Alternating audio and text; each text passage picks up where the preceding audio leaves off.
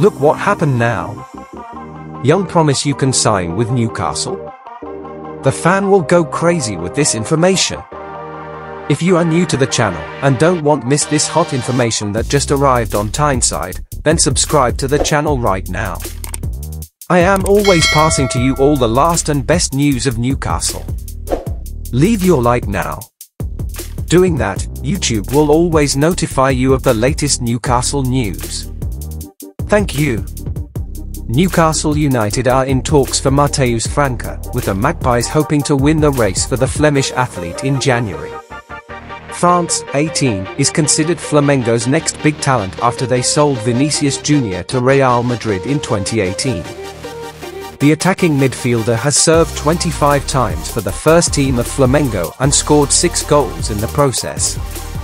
Newcastle appear to be pushing for Franca's signature, possibly in response to a transfer disappointment this week.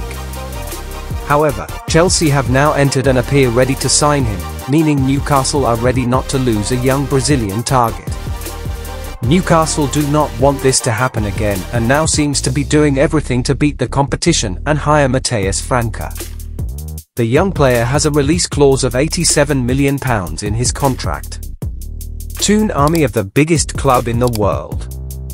In your opinion, Matheus Franca would be a new signing for Newcastle or not?